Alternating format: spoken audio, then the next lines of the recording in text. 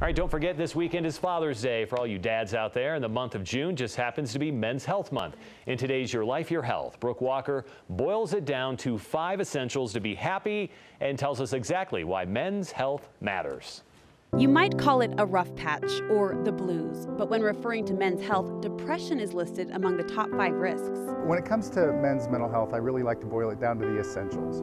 Uh, diet, sleep, exercise, mindfulness, and sociability.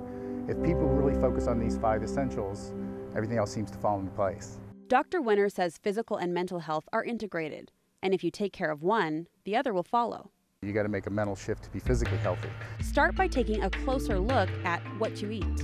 If we're sitting and we're eating processed foods, sugar, fat, and we're not eating enough plants, fruits, vegetables, you're going to feel horrible. Get plenty of sleep. The difference between five hours sleep, eight hours sleep, all of us know the difference between that. When it comes to exercise, our bodies were built to move. We weren't built to stare at computer screens all day. We were built to be active and out there.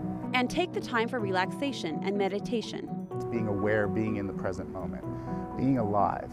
And the phrase, no man is an island, rings true. Sociability is essential for mental health, having friends, family, people you can connect with and spend time with. Finding the balance in your life and keeping a positive attitude are just a few of the necessities of good mental health practices. I like to say you have one life to lead, go out and live it. For Your Life, Your Health, I'm Brooke Walker, KSL 5 News.